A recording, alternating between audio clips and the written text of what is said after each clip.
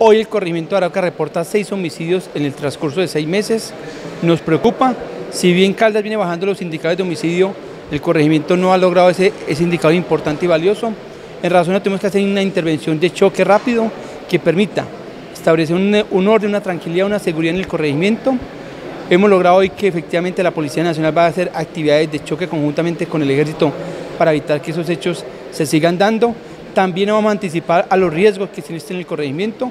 conjuntamente con el DPS, con Bienestar Familiar, con la Policía Nacional, con el Ejército la Gobernación de Caldas, vamos a traer una oferta institucional que va a permitir que nos hagamos una tarea de prevención, nos anticipemos a los hechos directivos, nos anticipemos al tema de la disfunción familiar, nos anticipemos al tema del microtráfico, las drogas de nuestros jóvenes y la tarea que tenemos como gobierno. La única manera de desmantelar todas esas estructuras es aplicando eh, las tres fases que yo siempre he estado manejando en todas las operaciones que llevamos en el departamento, como es concierto para delinquir con fines de narcotráfico, lavado de activos y extinción de dominio. Y aquellas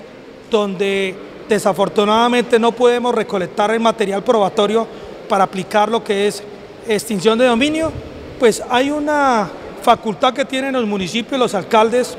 de sacar o despedir un decreto o una resolución donde nos permite al alcalde eh, tomar decisiones para derribar esos mitos de inseguridad, donde aquellos lotes baldíos que fueron apropiados por estas personas y son utilizados para expender droga, pues los vamos a demoler, los vamos a, derribar. Y el mensaje para las personas que habitan el corregimiento de Arauca,